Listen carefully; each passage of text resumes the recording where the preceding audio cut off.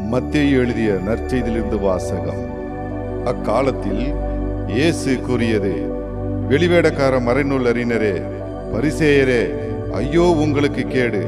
ஏனெனில் நீங்கள் வெள்ளையடைத்த கல்லறைகளுக்கு ஒப்பானவர்கள்.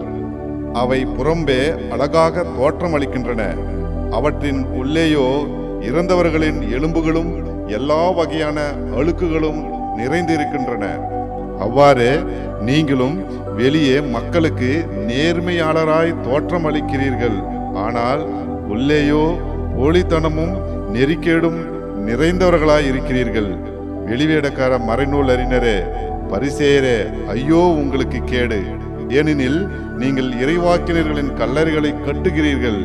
நேர்மையாளரின் நினைவு சின்னங்களை அழகுபடுத்துகிறீர்கள்.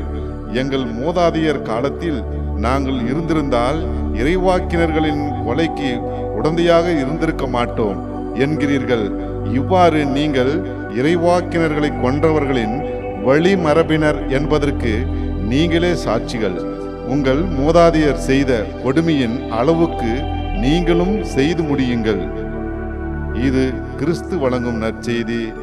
கிறிஸ்துவே உமக்கு புகழ்.